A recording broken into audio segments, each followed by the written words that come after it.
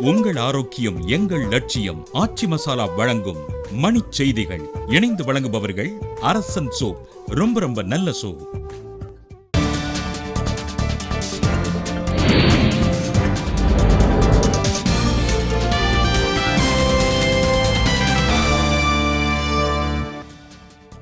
திராவிட கட்சிகளின் ஆட்சியில் தமிழகத்தின் விவசாய வளர்ச்சி அதல பாதாளத்திற்கு சென்று விட்டதாக அன்புமணி ராமதாஸ் குற்றச்சாட்டு.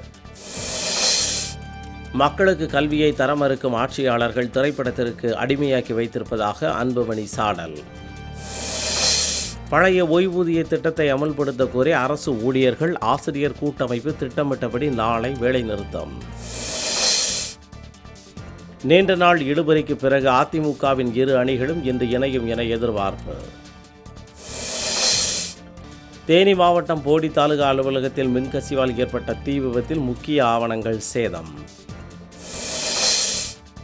அழிவின் விளிம்பிலிருந்து பனைமரங்களை பாதுகாக்க ஆயிரம் பனை விதைகள் நடவு செய்யும் பணி தருமபுரியில் தொடக்கம்.